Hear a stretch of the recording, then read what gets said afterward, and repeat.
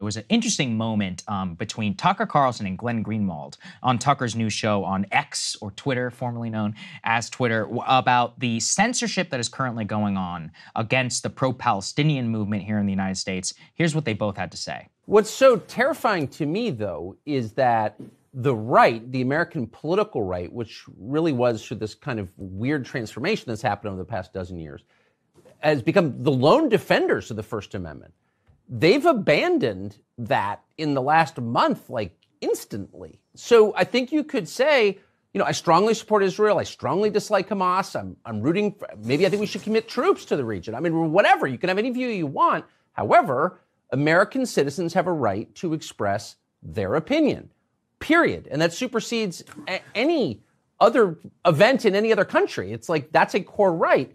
And I don't hear many conservatives saying that. Uh, and so you sort of wonder, like, if they're not defending it, who will?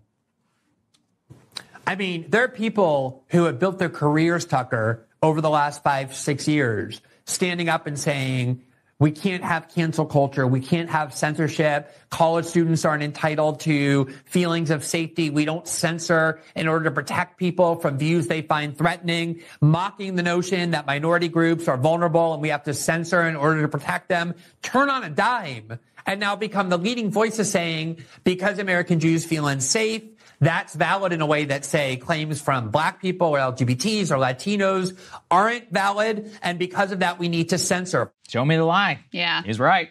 I'm um, glad to hear Tucker on that. It's a tragedy that that's not getting mainlined to the Fox News boomers and they're getting Jesse Watters instead. I can't even imagine what the hell is going on uh, over there. But it, it does show you a massive split you know, in the conservative movement right now, where for, you know, and I think Glenn's point is so important. It's what I was talking about in our A block. When you adopt the language of safetyism, you immediately fail. And it's because it goes into the framework of like, you deserve like complete emotional certitude and not to be able to be challenged. As Tucker said, if you're an American citizen, you can say anything that you want and should be protected by the law. Yeah. We should go out of our way, even the abhorrence. This is what the beauty of the ACLU case is that even the speech we find the worst, the most objectionable, out you know, outside the bounds of polite conversation, many standard deviations away, straight up Nazis. We still protect it because the precedent itself is so important. And unfortunately, actually, really what we've done is we are emboldening these campus apparatchiks to because now they can be like, well, you wanted us to, you called us in to protect against the Hamas people. So next time there's some George Floyd BS, we're going to do whatever we want whenever it comes to censoring uh, somebody or driving them off campus or posting their photo. Be like, this is a person who didn't sign on.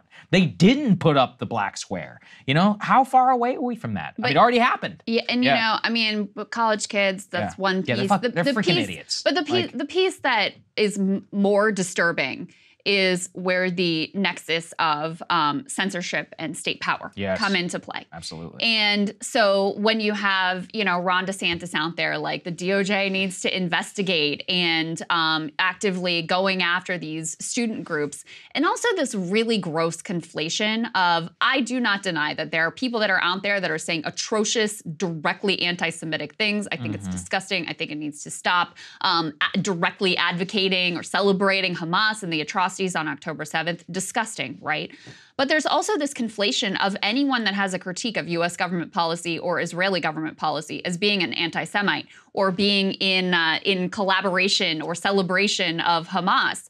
And that's wrong and it's disgusting. And it's something the Biden administration is engaged in as well. I mean, they called calls for a ceasefire, a position held by two thirds of Americans. They called that position repugnant they likened people who are attending uh, pro Palestinian protests, all of them, not just like the fringe extremists, to the neo Nazis that marched in Charlottesville.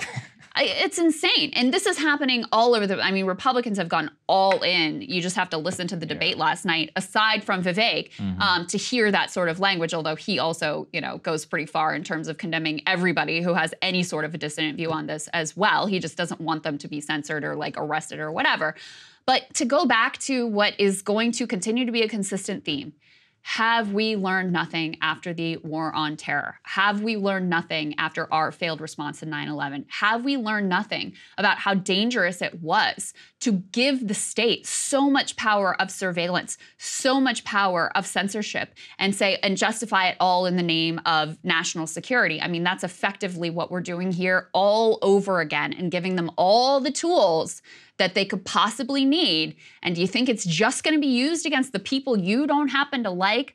No, mm-hmm. never stays in that one lane. The tools they acquired in the war on terror have been used against many different ideological groups. They have been consistently expanded over time, and we're just handing them even more power to weaponize those very same tools. I think you are absolutely correct. That's a great place to end it. Uh, we really appreciate all of you. We're just on a time crunch because we got Vivek Ramaswamy. We'll be posting that later, as we said, earliest for our premium subscribers. It's going to be posted as a separate interview and a separate podcast, so you can check your feed um, in a little bit. Uh, we're excited. We're about to go do it, so we'll see you later. Hey guys, if you like that video, go to breakingpoints.com, become a premium subscriber and help us build the best independent media organization on the planet. That's right. We're subscriber funded. We're building something new. We want to replace these failing mainstream media organizations. So again, to subscribe, it's breakingpoints.com.